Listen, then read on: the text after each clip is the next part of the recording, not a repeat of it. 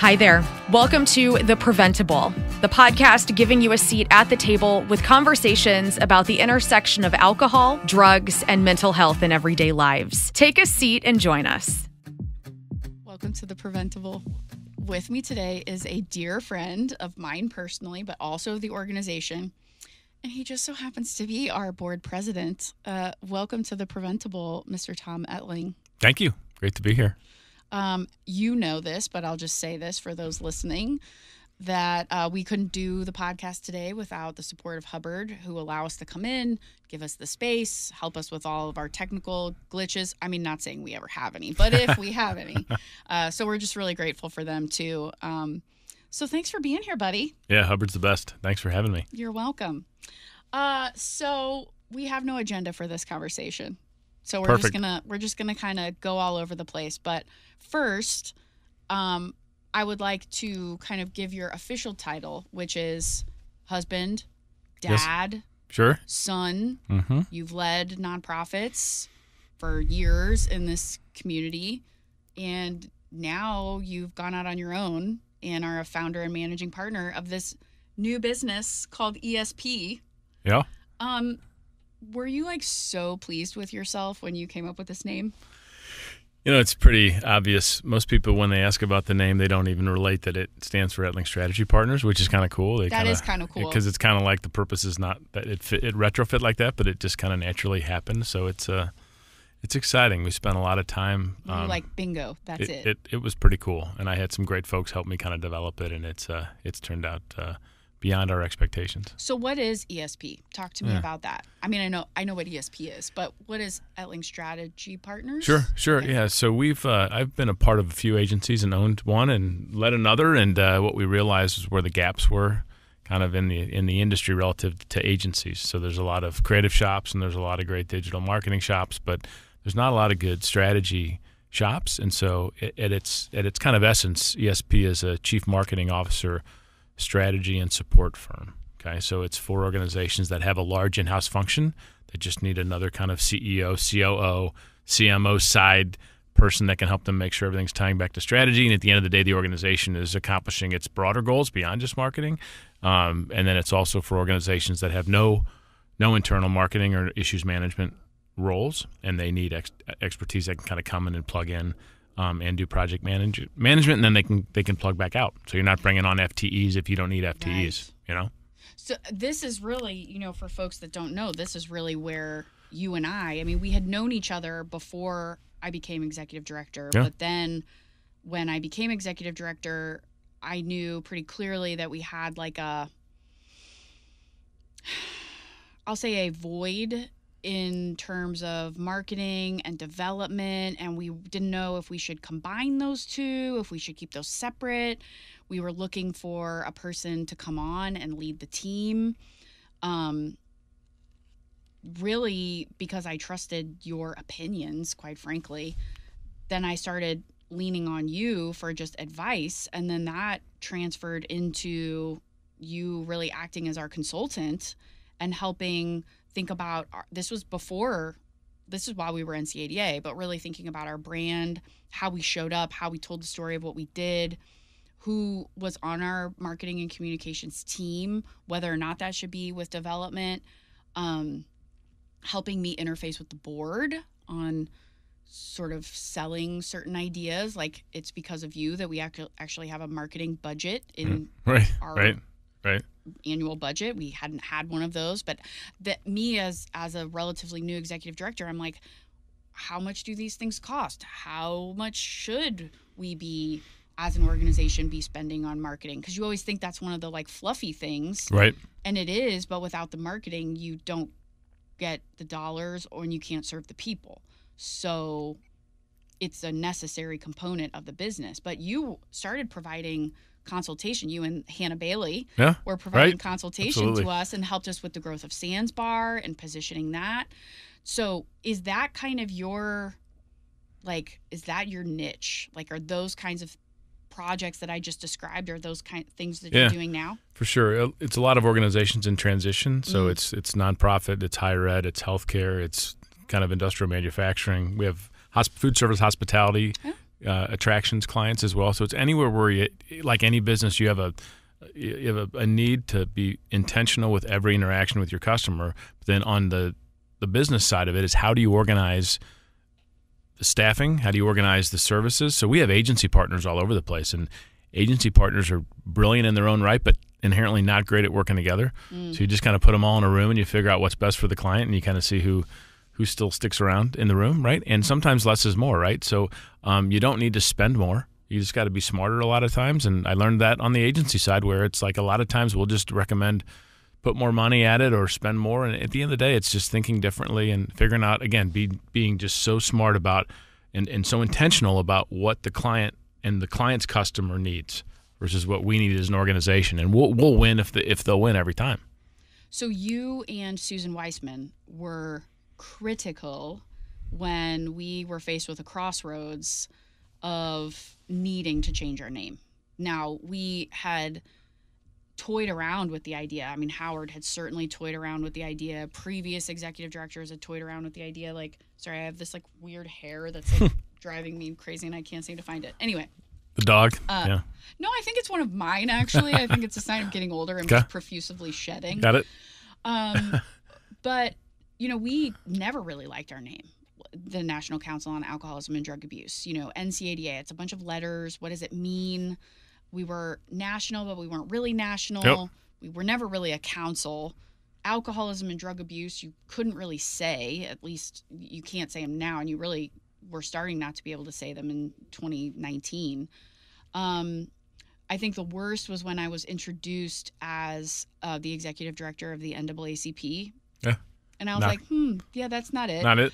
Uh, right. I've also been introduced as Nicole from the NCAA. Really? I wish that that was you wish that was true, it, yeah. Because I don't, I, I don't sport. That would be cool. Yeah, that would be cool. But then going into a classroom and saying, "Hey, I'm Nicole and I'm from the NCAA." Well, what does that mean?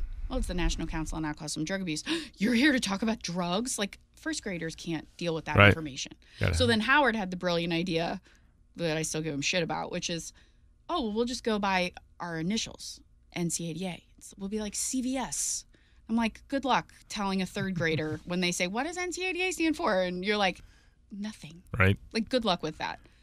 But then we really hit this point in 2019 where we were faced with like we we had to change our name um, because some things had gone on with the national affiliate and we just needed it was a really good reset time you i think were one of my first calls like after because you were not affiliated with the board at that time. So after we talked at the board that we needed to do it i think i called you and susan like next and said and how? Yep. and how? So you became a really vital portion of that helping us find the firm that ultimately helped us and that's angie and her firm with almanac at the time. But i'm wondering if you could just kind of like talk through and I joked with ESP, but I'm wondering if you could just kind of talk through like how important a name is, but more than a name, like a brand identity, because you have really helped us formulate our brand identity. Yeah. Could you talk about how that's important for people who might be like, eh? Well, I think in the nonprofit space, it's even more important because mm-hmm. you, you are going to have less budget than for profits most of the time, yeah, regardless. Just, and and right. you have a higher responsibility with those dollars, I think, in, in in your space to use them even more wisely a lot of times than than for profit. So I, at the end of the day, the brand really is every touch point though. So the brand is built on the people. You know, the only reason there's a brand promise is the people and the work that you do every day. So you could you could be the the coolest, flashiest most well marketed organization in the world but if you don't really deliver that promise and that's what PreventEd does so well right? So you you convene you're intentional you're intimate you're one-on-one you listen you're present all those that's what the brand is. And so i think a big objective of when we changed the name or recommended that you change the name was one of few i would say one of few versus one of many. Mm-hmm. there is so much clutter in the nonprofit space and all well intentioned for the most part organizations that are doing great work, but you can relate to the kaleidoscope of organizations. 28,000, I think, right. in this region. And how many are called hope or faith or grace or love or and all great words in and of themselves. But at the end of the day, you have a limited opportunity to touch your, your consumer. I still remember I uh, I had back surgery 10 years ago and I was at, at at uh, Mercy Hospital, and I told my direct. I was running a nonprofit at the time, St. Patrick Center, and I told my director of communications, "No one knows who we are." And we were in the center of volunteer St. Louis philanthropy and volunteerism. For those of you who are in St. Louis and St. Louis County on Ballas and Highway 40, I mean, a lot of resources come from that area, a lot of churches and, Absolutely. and volunteers. So of the 10 people, I started doing my research at 4:30 in the morning. Yeah, you're doing your focus group. So I was right? nervous, and I was going into to the welcome center, the intake center, and I, uh, from that person on through the person that delivered communion to me, my third day in the hospital, eight out of ten had never heard of St. Patrick's Center. And for those of those listening that aren't in St. Louis, it is one of the most well-known Right, it's a big organizations organization. of any profit or Yeah. non-profit. And so eight didn't, seven actually seven had never heard of us.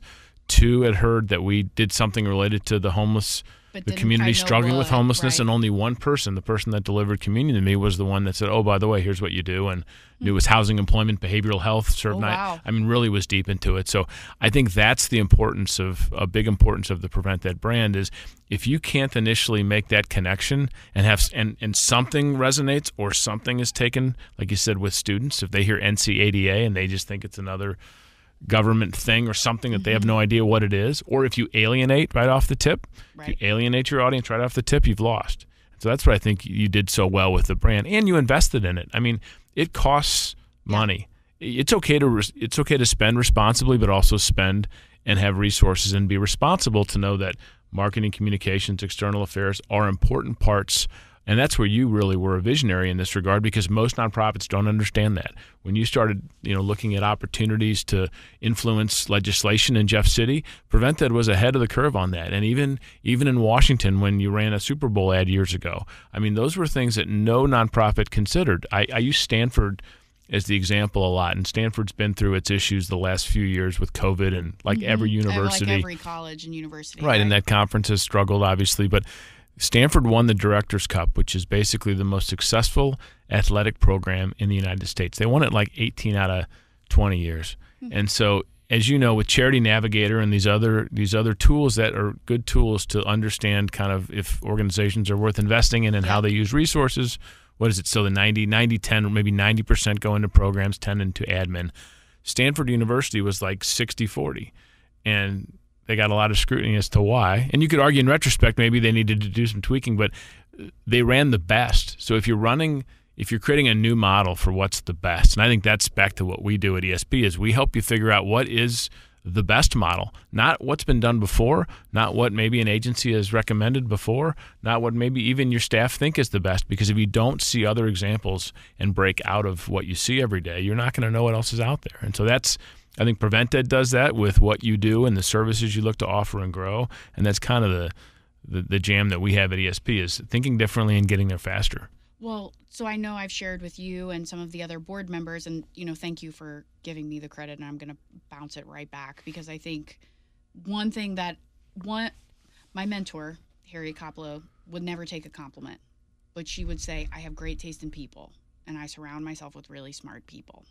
And so I feel that way too, right? And so having you and Angie Winchell and um, y- you know all these other amazing people both externally but also internally like max dieter you know like really helping like drive the brand and really focusing in on what the brand is and what it's not you know there's a lot of conversation and i've shared with you all at, at the board level about this new sort of movement in nonprofit to sort of not be seen as like a charity that it's okay to your point about stanford it's okay to spend money on your staff on the building on the um, team environment to help the team really feel like they're part of something um, if we are not paying living wages to the people that are on our team then we're basically making them become our clients right Yep.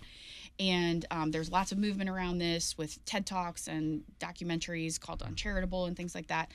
And i think that you in particular have really helped me but also other nonprofits understand that it is important to invest in marketing and communication. It's important to be treated and i said this to you very early on like i know we're a nonprofit. Do not treat me like a nonprofit. Yep, right. do not uh, cool if you want to give me like a little bit of a like a discounted rate but i want your attention just as much as your for-profit clients want. And i want your brain power as much as you give your for-profit clients. I think that's only fair.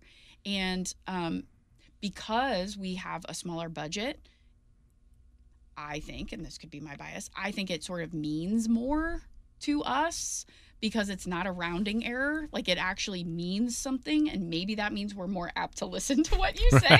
right, right, right. But I do, I love that you are continuing in ESP to continue to focus on nonprofits because I think that sometimes we get these like run of the mill people that kind of give us like shitty advice Right. and Right. or advice on how to cut corners when if you can't get the brand out there and if people don't think, oh, PreventEd, mental health and substance use disorders, kids, conversations, okay, then you're missing an opportunity. Well, and there's a lot of similarities between your world and higher education. I mean, I've uh, two Mm, boards, one board that I served on, and another client of mine have both gone out. They're small private universities have both gone out of business in the last Mm. year. So at the end of the day, if you can't figure out why you're unique, Yeah. you can't figure out how to run the business and run it. That's the other thing that I think PreventEd does well. You have to run. You have a. It's a business that you don't need to profit like maybe the expectation of shareholders in a for-profit business, but you have to be able to save because you need to be able to grow. You have to have vision, but at the end of the day, you have clients. It's not like Target. If I go to Target and they don't have my soap, I'm gonna be just fine. Your clients, you have a Right. and you have a necessary purpose to be there every day, which is very difficult. It's funny, they always give nonprofits the hardest of tasks. Mm-hmm. We talk about this all the time, right? The most complicated of tasks and the least amount of resources. And I always say about government is government gives you a funding source for three years or whatever the, the time is. And this, I, I really dislike this a lot. You develop a great product, okay, and then you bring the product to market, and in the world of PreventEd, you have a lot of need for this product. Then government says, "Well, you're pretty good at that now. Let's move that funding source to somebody else." Which maybe from 35,000 feet makes a lot of sense, but you, there's not much of a retail component coming from the client. So then you have to go find another funding source. It is counterintuitive to to, to business really, where you develop a product, put it on the shelf, and oh by the way, no one's going to pay anything for it. So it's just, it makes the, the challenge. I don't want to make it more daunting here than it than it is for you, but um, it, it requires consistency and discipline, but also vision, which is another reason why I'm proud to be on the PreventEd board. I didn't pay you to say that. Nope. Um, but speaking of paying, so this is a yes or no question. If somebody's listening and they're like, hmm, I need ESP to help me, do you all have the bandwidth to take on more clients?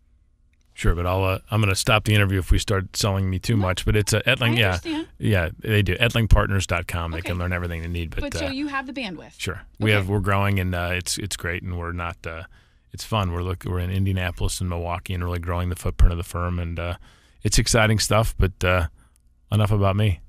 Uh, so Tom is about likes talking about himself as about as much as I do. Um, so you're a Jesuit, right?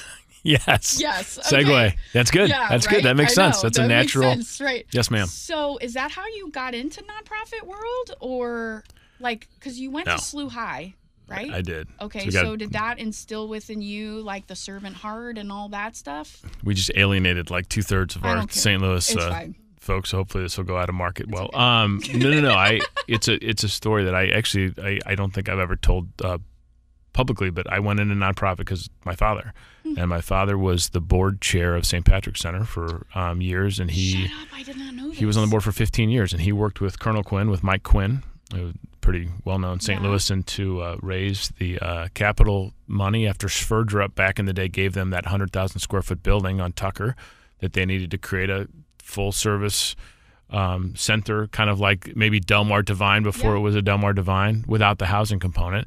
And uh, then my father got a call, and uh, Was he, the executive director, or he was on the? no, he was the C- he was on the he was on the board. He was, was the on the board, board. chair. Yeah, so 15 years on the board, and then he was co-chairing the capital campaign, and he got sick, and he was 57 years old, I guess, and he had a got a glioblastoma, and they said he's got three months to live. And so I also think it speaks to why, you know, in science, it's not just science. And he said, okay, I don't really, I don't really buy that. And he lived for almost three years, and Wow. at the time. You know, if anybody knows anything about glioblastomas, they're really the Yeah. kind of the worst of the worst in terms of cancer. And so I, uh, it was interesting. I went into nonprofit then, not directly to St. Patrick's Center, but I um, worked in a large nonprofit role for a for the Bi-State Development Agency, a large economic development agency, and uh, I had a leadership role there. And then I just, it was strange. I had a five month recruitment process to be the CEO of St. Patrick's Center. I always knew I wanted to go back into private business, by the way. So I went back and worked in the agency world after after the St. Patrick's Center role, which was the goal mm-hmm. the whole time with, with Susan mm-hmm. Susan Weissman, um, as she was looking to retire. But um, and I had an amazing board. I mean, you're only as good as your board in nonprofits. And I had a board of people that were I'll put up against any corporate board in the country. I say it all the time, from Jim Kavanaugh of Worldwide Technology to Joe Ambrose to Susan Lombardo to Joe Castellano to Jim Del Carmen, um, and uh, Craig Unruh. I, am leaving many people out, but I got to Patrick Quinn.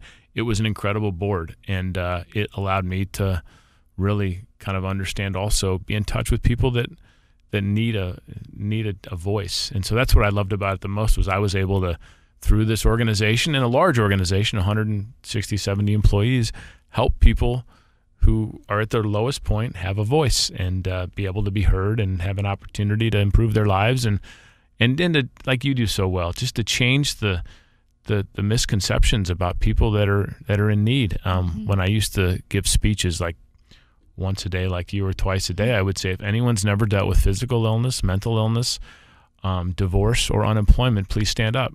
Okay, we're all about two steps away from being in a situation right. that a lot of the clients are at St. Patrick's Center. And, and, the other thing we always say all the time is it's not a black issue, a white issue, a mm-hmm. blue issue, a gray issue. It doesn't come from North City. It does. It's not like it not comes Republican from issue. It's not a Democrat. It doesn't issue. come it's, from South, exactly. way South. It they're just people, man. And so at the end of the day, it's our responsibility to help people who have great need and who have who have great barriers. Mm-hmm. Now there's a group of folks who need a little encouragement to move forward and work through their stuff and then become more productive people in society and more productive fathers and mothers and that's important but there are people kind of dually diagnosed folks who are in tough places that aren't necessarily going to be in a completely different place and so that I think that is the role of government and I think it's the role of kind of private giving to really help the folks like you serve every day who need understanding who need a, step forward, who need just a better education as to what they're dealing with and the tools to deal with maybe things in their life that are that are challenging because we all deal with those, you know, those things in life that seem like they're impossible yeah. to to conquer, you know, or to overcome. Your first day at St. Patrick's Center, did you just like feel your the spirit of your dad? It was bizarre. It I, was. I can't even imagine but it was you know we talked about this it's like five years that's where i learned that i think running a large nonprofit and doing it well it's a five year it's a five year deal if you're all in. Because St. Pat, I mean, that's it's a big organization. What's the budget? It's a or ish. It's, yeah, it's a eighteen or so yeah, million I mean, dollar organization. A, big, about thirty. boy about thirty all in. But when you're, you know, my had my dad looking over my shoulder every day, and that sounded great. But it was oh, the pressure, pressure, to do everything right was interesting. But uh, you know, I but I had so many good people there that supported us, and it was. Uh, all you can do with anything is leave it better than when you got there, and we definitely did that, and we we built a restaurant and did things that I never had done before, and uh, it's uh, it was the best, but the hardest, you know, four and a half years of, of my career, and uh, I wouldn't, I would never do it again, but uh, but I would never trade it, never trade it. I think one of the things that I really like about you, and that I appreciate you, besides the fact that we're, you know, you're my brother from another mother, but um, yes, I like the emphasis that you and your wife, but I know you better really place on education. And hmm. that means prioritizing education not only for your kids, but also other people's kids through your involvement with higher ed, through your involvement with um, just other initiatives. And you, from what I know about you, you seem like you're always on a path to get as educated as possible about whatever that subject is, right? And you say you're like a pretty lucky person who just kind of falls into things, but we both know that's not true and that you work very hard, but that you prioritize education. Has that always been that for you? Was that something that your parents instilled and like your family was like like education is paramount, whatever that looks like. Yeah. And then that's something you're passing down? That was big in my house. I mean, my wife was a, a, stud student. I was a very average student, and I didn't really enjoy being. I can see you being an average student. Yeah, thank you. Appreciate You're that. Welcome. I really didn't enjoy You're being welcome. in class, so I learned a couple things. One, I was going to have to out hustle people. I was going to have to out research people. Um, I was always taught that you better treat people as well or better than you treat you better. That is that was. You're very good at relationships. Oh, I, I'm just so saying that that was the. You're not like a plus on that's like the, right. the, one side of the report card like right. the the relationships, the trust, the all of that stuff, like you like knock that stuff. Well, and you gotta you just gotta surround yourself with good people, and you gotta understand what you're where you're good and where you need folks to help, and that's how you build a business. That's how you build a nonprofit. That's how you build a family. I mean, your Mm-hmm. families you got different skills and different abilities to work through different things, and you all come together and you do it as a team. So I I would say education was always very important, and we my parents were we were very fortunate to get the resources we needed to to do that. Um, and, and I'd say my wife, who's much more of an academic than me, would tell you that that's a, a massive was a massive focus for her, and she did it as well as anybody. So it's yeah, you know, and you have good kids, and you get a little lucky, right? So we're very Well, very blessed. you have kids who don't always have to be good, but you have kids, and then you support them. they're mostly good. Yeah, right, right. exactly. Uh, I say that if you're listening, Tom's children, because we don't talk about kids as being good or bad. They just, you know, they're just They're- kids, Yeah, right? They're all God's kids. children, as we say, All not to get to yeah, children. right? Yeah, sure. That is really funny. Um, so I am just curious about, and I hope we can talk about this because I didn't ask your permission. Tell me about Eisenhower Fellow. What is that? It sounds very fancy, and you're going to tell me it's not fancy, but everybody I know who is an Eisenhower Fellow seems very fancy. So I am not fancy, um, but, but what is it? It well, sounds very cool, Tom. so um, And how did you get to be an Eisenhower Fellow? This is a this is we don't have time for all of this, but I, what I'll tell you is that President Eisenhower was given a gift, and this Eisenhower Fellowships was created years ago, and it, the whole goal of it was to create. I'm going to butcher the mission statement, but to create more dialogue and better understanding among people, among nations, and Which it, seems like his MO, because wasn't Eisenhower the guy that created interstates and like just more communication and Yeah. transparency and collaboration Well, and all the things, right? and for me that was always like kind of what I was okay at, and that was bringing diverse groups and People people together. together and creating strategy around it and moving somewhat you know puzzle pieces that didn't seem like they fit together and putting them together and kind of thinking differently so for me it was great but i was kind of a later in my career i was just under the it's kind of a mid-career fellowship and basically i went to um, i went to spain and i studied the legacy of the 92 olympics in barcelona and its impact on barcelona and malaga and bilbao um, and uh, and it was a great And then and then the idea then Madrid. is that you come back to your city and you And bring, bring those, those- lessons learned. Yeah, and then we also studied how um, when big events or big initiatives or big economic development comes to a region, how the region treats folks who might be in underserved communities. And so, what? So where's the? during your St. Patrick's Center This is a transition this- from St. Patrick Center CEO to uh, running and joining Dovetail. Interesting. Yeah, so it was. Uh, we so it flexed like it a little bit. Yeah, taking everything you learned from your first place where you were doing um, development, like uh, what was it, what was the first thing you by state or yeah. It was more Yeah, yeah, actually yeah. St. Patrick's Center, okay, like so it's through kind of like back to private agency right. world. So it's yeah. kind of like all of that, and then figuring out like how that impacts the region, but then also pulling in other people who might historically be underserved or ignored Yeah. or whatever. So we so we spent time with kind of industrial folks and business folks and sports and entertainment leads and you know civic people and folks running nonprofits and kind of put all those things together to understand kind of the relationship between Madrid and Barcelona and then Malaga. Malaga went You're from I know I don't want to yeah I know Buffalo. I should have Mar- Malaga Malaga went from kind of this beach and golf city to a thriving thriving international airport and economic development hub in, in, in southern Spain. Incredible. And you know what they did? It's go back to brands. So Picasso is actually from Malaga. And so everyone claims Picasso, Okay. right? And everyone has a Picasso museum or Picasso Sure. exhibit, but they realized, wait a second, guys, we actually he's actually from here. And so mm. they went all in and created this arts and entertainment and Oh, museum cool. district. And that Very was the first museum. And then they did a museum of modern art that is spectacular. And then they did the Thyssen Museum, and then they so they they took the historical aspects of the brand and then they applied it to develop you know new economic development, and now it's a it's a thriving and they have a huge business and you know entrepreneurial area of that So community. you learn all these things, and what do you do? You come back here and you give a PowerPoint presentation. I had to, I, I did have what does that look I, like? did- I did have to do that. Um, Talk and about uh, nerve wracking. it, Jeez. it- it was yeah that interview process um, with the people in the room. I won't name all of them, but it was uh, the most nervous I've been in I my can't even imagine. in my life. But uh, I, I will tell you one thing though. One of the other fellows, there were nine fellows in my class from the United States, and one was Stephanie McMahon, who was the chief marketing officer of the WWE. WWE? Right, right. Which I'm not a. I'm I not a- am. I'm not a Oh wrestler. right. gosh. It was crazy. It was crazy. So I, so I'm like, at least of these nine, okay, I got there's a is a, a wrestling, but there's a wrestling executive. I'm like, okay, at least I got, you know, I'll, I'll be able to be on par there. She was brilliant. Brilliant and smart and wonderful, and so to, I left. I called my wife. I said, "I am definitely like the. They must have gotten my dad's and my name mixed up. Why am I in this class of brilliant? I mean, they were really brilliant people. Wow. And so it was. Uh, I wear this Connor's Cure, this bracelet, by the way, because of Stephanie McMahon. It's for a little kid. His name was Connor, and he was dying of brain cancer. And his his make a wish was to go in the ring and be a wrestler. Stop So it. Connor the Crusher. So I use this with our corporate social responsibility clients all the time. I say, I'm not a wrestling fan, so imagine if you really want to Oh, unlock right. your brand. I don't like professional wrestling.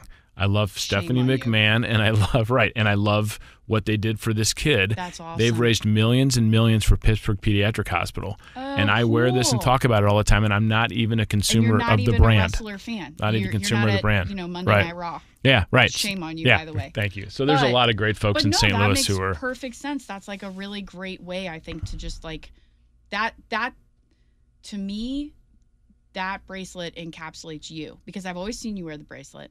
Never really stopped to ask you what it means. Yeah.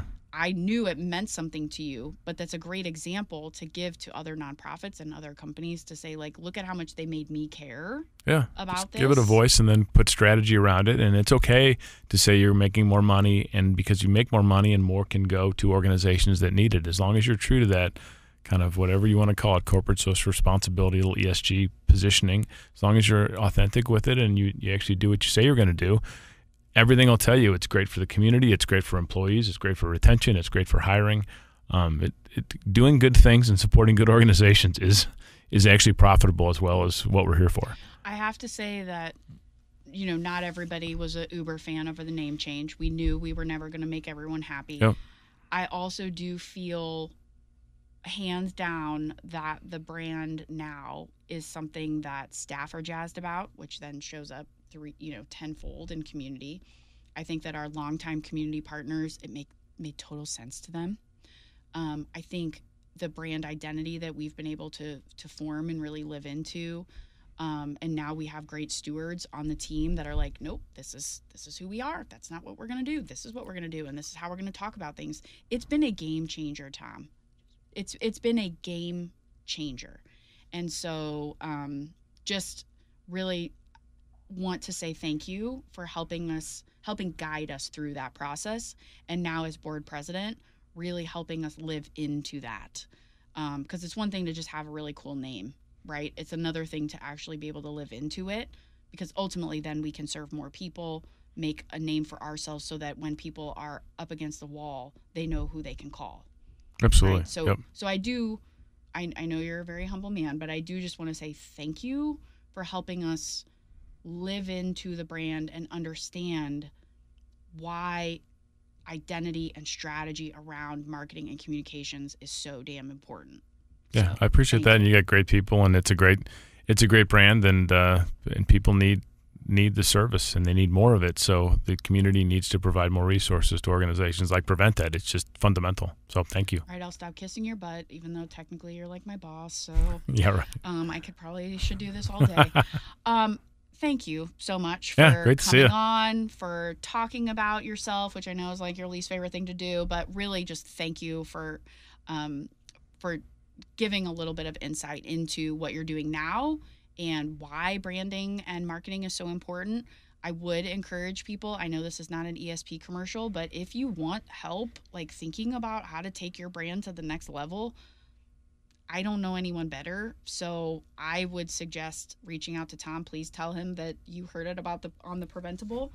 Um, if you like what you're hearing, as always, please consider rating, reviewing, or subscribing. Thank you. For Great to here. see you. You're the best. Thank right you. Back. Thanks for joining us at The PrevenTable, brought to you ad free by PreventEd. Prevent Ed works to reduce or prevent the harms of alcohol and other drug use through education, intervention, and advocacy. Please visit their website at prevented.org. Like what you heard? Rate, review, and subscribe to stay up to date with what we are serving on The PrevenTable.